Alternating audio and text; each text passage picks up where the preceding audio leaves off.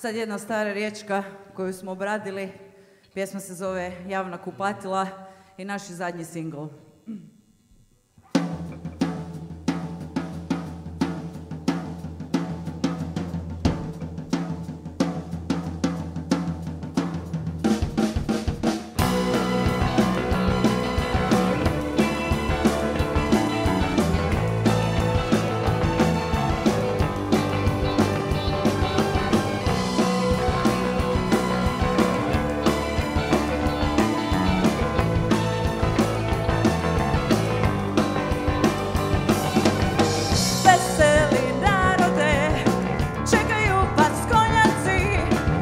Čekaju vas vaši snovi, navijajte sportski, veseli narode, čekaju vas konjaci, čekaju vas vaši snovi, navijajte sportski.